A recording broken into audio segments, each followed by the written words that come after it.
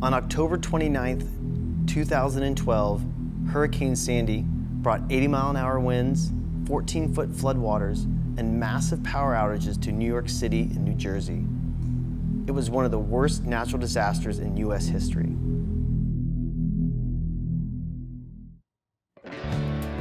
My name's Chris. I'm the hybrid care manager at Keen.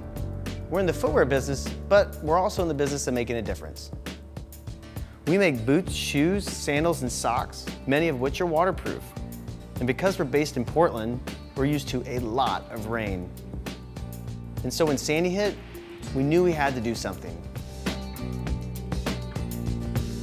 People were wading through rubble in tennis shoes. I cannot imagine how hard it would be to take a sledgehammer to your own home.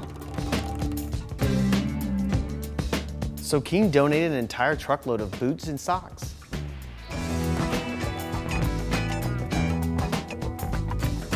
Some were steel-toed and construction grade to protect people as they went back into their homes.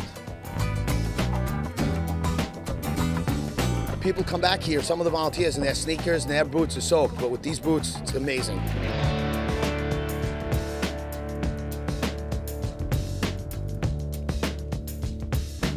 You might not see this story on the news every night, but for thousands of people, the reconstruction has just begun.